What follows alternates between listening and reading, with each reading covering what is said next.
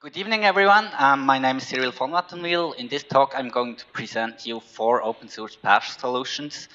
I'm not going to go into detail too much, so first of all, to my person. Uh, my name is Cyrill von Wattenwyl. I'm working at Adfinis SyGroup. I have a developer background, but right now I'm working in system engineer. Um, I like to try out a lot of new things, and since I'm a bit lazy, I like to automate any, everything I can. Um, a few words about my company. My company named Adfinis SyGroup. We're one of the biggest open source only service providers in Switzerland. Um, we have currently about 50 employees, and in those four blue rectangles, you can see our field. We are also um, partners of the major big Linux distributions, to, just to show you what we can do then. Um, here's also only shortly a slide about our customers. I'm not going to get in detail too much, just to give you an idea of what we are doing. Um, so, um, first of all, I'm beginning with what is a PaaS. Um, it's 5 o'clock, so most of you know it, but I will do it as well um, to get you an idea of it. Um, most of you, I think, will know the birds view sheet, but I will do exactly the opposite of it. So, um, as you can see in traditional application, we have like front end, we say it's Node.js, we have backend, it's Django, a database, Postgres, and the Varnish reverse proxy. And in these traditional setups, you have to set up all those things manually, you have to deploy them manually, you have to do a lot of stuff by hand. So if you pack them to a logic unit, I call it pod inside here, which is the terminology of most um, platform as a service solutions. We have this application packed um, with specification and everything. And if we zoom out a bit more, we can see this application running three times inside the PaaS. Um, as you can see, there are three nodes where um, Docker runs, you have some control issues and so on. I'm not going to get into detail. So um, I think you should now have a really, really, really, really basic idea of what a platform as a service is. Um, and you may now ask why you should use this. As described before, in traditional setups, you have to set up everything manually. For every new release, you have to deploy it, you have to make changes, set up configure files, you have to maintain test environments, normally done locally by the developers which leads to the problem. It worked on my machine, which I think most of you will know. Um, and that's where the platform as a service comes in. So you just have to specify once how you deploy your app, where it should run, and then for every each step you can just um, those steps will deploy then your app, run it, route it, add the SSL certificates, and so on. So I believe in a few cases, this will be the feature in our business. Um, so I'm going to give you a raw idea about those four ones. The first one is Kubernetes, came from Google. I call it the Google PaaS.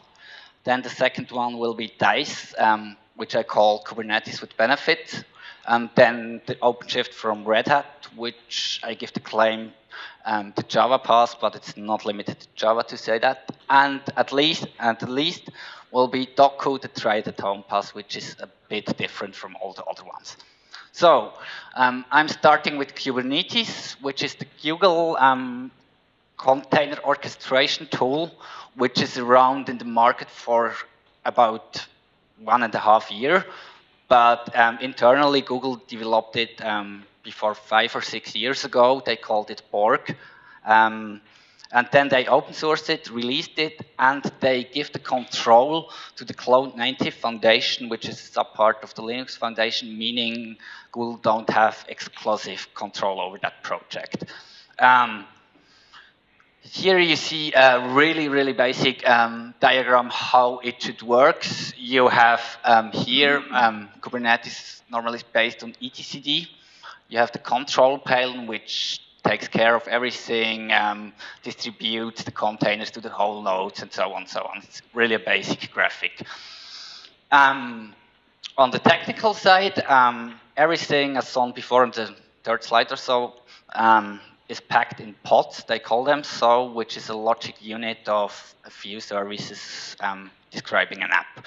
Um, you have in, um, in Kubernetes, you have two parts. You have the control plane, which is based on etcd and a few other services um, managing the whole cluster to get the apps running. And then you have um, the nodes on which it on which a thing called kubelet is running and a thing called kube-proxy, which is responsible to starting the containers on the Kubernetes nodes. So, um, um, if you, um, why you should use Kubernetes? Kubernetes is quite major solution because it's one of the oldest one. Um, you have quite good scaling possibilities. Um, it's quite community driven. But the problem can be that Kubernetes is not with batteries included. So if you want to build a solution, you have to do a lot of things on your own, especially for the service provider part. So if you're a startup company, loves to try and new things, Kubernetes might be the right for you, but you have to build a lot of things on your own. The second solution I'm presenting is called Deis, which is my favorite, personal, um, which it's their claim, it's Kubernetes with benefits. Um, the idea behind Deis is to lay a developer-friendly overlay to the Kubernetes solution, meaning I think most developers um, demanding Heroku or something because it's the oldest PaaS around the world, and Deis will support this from scratch. So um, on the architecture side, Deis is also based on Kubernetes, as you can see, and it lays a layer around it, which is um, a build for the images. You can it aggregates your logs, um, rollback releases, and so on and so on. But basically, it's just Kubernetes with some microservices. Um, so everything in Deis is implemented as Deis pods. You don't have to run it manually or something. Um, it's, uh, more like a service on site on Kubernetes. Um, it's recommended to run Deis on CoreOS, but it should run on every system where you can run your Kubernetes cluster. So as mentioned before, it has direct support for Heroku build packs, meaning it's easier to migrate if you already use that solution. Um, why you should use Deis? Um, my, in my opinion, it's based on really well-known product. It's, it's Google, um, Google Kubernetes and the etcd from CoreOS. Um, but it, it really simplifies the workflow of, of the Kubernetes for deploying apps, installing them, so on and so on. And it also adds a self-service. Oh a self-service capabilities which you don't have inside Docker, meaning you can give credentials to your developers and they can run up their own development environment in a few seconds. Um, one thing that isn't really positive about Deis is it has a quite strong focus on the 12-factor apps, meaning you can run nearly everything you want, but it's it's harder than in other solutions. And it's also the database service which is integrated is Postgres only. It doesn't mean you can't run another database, but then you have to do it by yourself, which can be problematic. Um, I would recommend Deis mostly for web agencies and companies who want to do experiments. It's not also not really ready ready. Um, third solution I'm going to present calls OpenShift and comes from Red Hat. As you can see, the claim here is the Java PaaS, but of course it supports nearly every language you can think of. Um, so this is only the claim. Um, the idea behind OpenShift is um, to lay something above Kubernetes. It's also based on Kubernetes, but more in the enterprise way and gives you professional support and so on and so on. There are two editions of this platform. There are the origin one, which is the community-driven free one, and the enterprise, which has professional support and some more features. You may will hear the term middleware when you're talking about um, OpenShift. meaning it has a quite strong integration in the whole JBoss and Java world, which makes it quite easy to deploy jar files and so on. Um, as you can see here, the architecture is also based on Kubernetes as well, like all the others as well, but it lays a little bit a thicker um, layer on site than Deis. You, you see, you here have a lot of controllers, so on and so on, but basically it's also just a Kubernetes with benefits. Um, so, um, why you should use OpenShift? Um, OpenShift fits perfectly if you're a bigger company, don't want to make experiments, um, wants to have a solution with professional support. Um, you have um, OpenShift is the only solution which has a web UI. Um, self-service at its best. You just can give credentials to nearly anyone, and he can click and deploy an app in easy steps. Um, it's the quite easy to set up because it's based on Ansible playbooks. You don't have to set up the cluster before. This will be done for you. It's also based on well-known products. And may one thing to mention, but only in the enterprise edition, is that you have the possibility to get certified containers from Red Hat, meaning um, they're certified in security, which guarantees you that your app runs and you don't have this security issue, which can be a problem. Um, one thing that may be a disadvantage on OpenShift can be it has a quite strong focus on Java applications. Um, but to say again, nearly every application language will run and OpenShift will only run on Red Hat and CentOS, and since version 3.2 on Project Atomic, so it's not distribution agnostic as the other ones I presented. Um, then I came to the fourth one, which is a bit different than all the other PaaS solutions. Um, I call this the try it at home PaaS, and I really recommend this to every developer who hasn't done any PaaS stuff yet, but wants to try it out at home.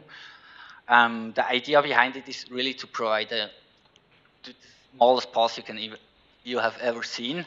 You have a Heroku-like workflow, not like in Deis directly support for build packs, but you have quite the same workflow. Um, it runs on a single host. It is it's installed in seconds, so it's really perfect for every developer in here who wants to try it out but doesn't want to take the hassle to install a whole cluster and so on. Um, I don't present a image here because Dokku is only a bunch of bash scripts, about 350 lines long, so it's really, really simple. But you have nearly the same workflow for trying out um, the PaaS way. Um, so um, if, I said before, if you're a developer and interesting to get a new workflow, um, install it on your Vagrant box and you can get into the workflow, um, into the PaaS workflow, but of course, it runs on a single host. Um, it's only a few bash scripts. I wouldn't recommend to install this in production. It's only more for testing, but I really recommend it because a lot of developers don't know the PaaS workflow, and with the product like this, they can get into a little bit. So um, I came to the conclusion, it was a little bit shorter than I thought. Um, you can say there is not a single solution to rule them all but nearly every solution based on Kubernetes, so it's worth a try to look at Kubernetes, and if you don't have the time, may do the Dokku, which I presented before. Um, really depends on your need as well. If you have enterprise needs, if your business needs to be business critical, then I would recommend it to use OpenShift. If you more want to do more experiments, then you may look into Deis or Kubernetes. And if you just want to play around with it, you may have to just install Dokku. Um, PaaS is also a quite new technology, so time will tell which approach is the perfect. It's about one or two years in the market. It it's hard to say this one is perfect and fits perfect for you. Uh, this was shorter than I thought, so are there any questions?